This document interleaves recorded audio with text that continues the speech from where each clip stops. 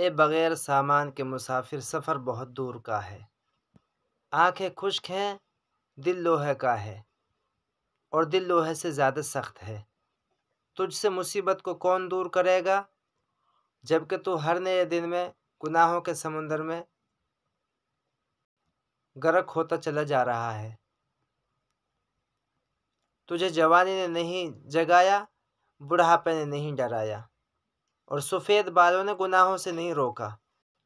मैं तेरी कामयाबी को बहुत दूर देख रहा हूँ। तो आखरत की मेहनत करने वालों को देख, जो बहुत बड़े फजल तक पहुँच गए। उन्होंने नींद के बिस्तर को लपेट दिया। अब उनके लिए रोना और आखरत आखरत की तैयारी करना रह गया।